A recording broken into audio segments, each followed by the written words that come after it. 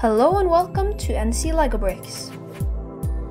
This is a little special video coming in for you guys. I have ordered a package and I have waited at least two weeks for it and finally it arrived. Here it is. I just wanted to open it up on camera. I won't show you the front because there's all my address. So let's crack this thing open and see what kind of sets I have ordered. Ah. Okay. A further. It is exactly what I ordered.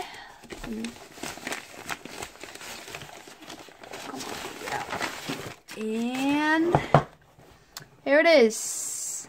Lego Ninjago set 71707.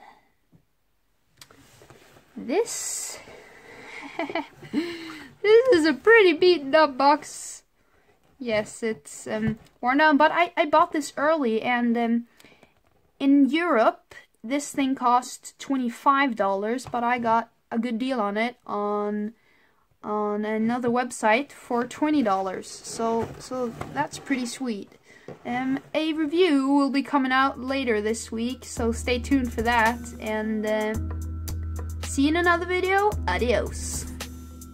Please smash that like button and subscribe down below. And don't forget to turn on notifications so you can stay tuned and see more LEGO content like this. Go check out my LEGO Ideas projects with a link in description below.